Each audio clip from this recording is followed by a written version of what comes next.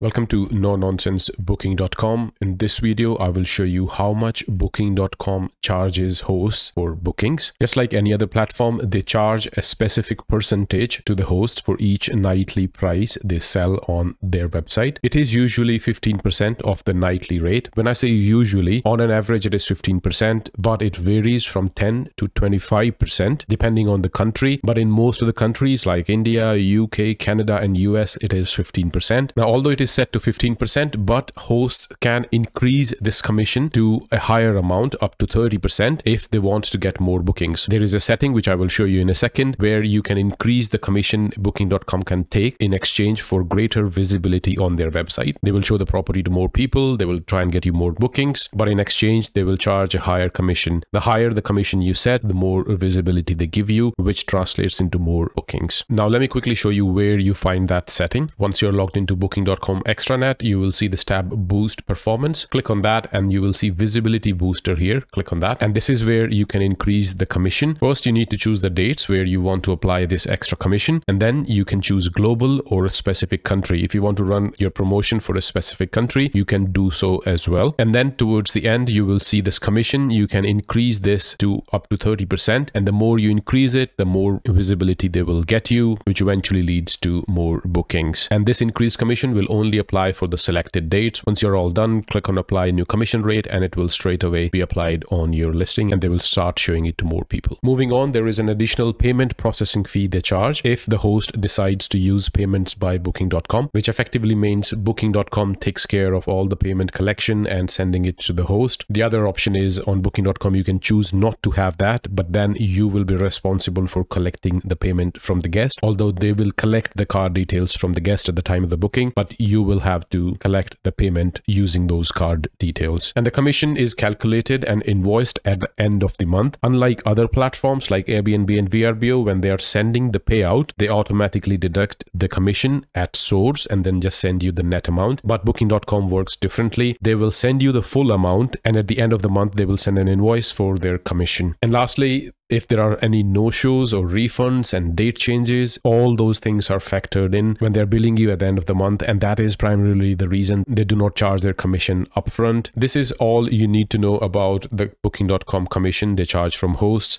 I hope you find this video useful. Please do like and subscribe to my channel and leave me a comment if you would like me to make a video about something which is troubling you. Have a wonderful day wherever you are. Until next time, bye-bye.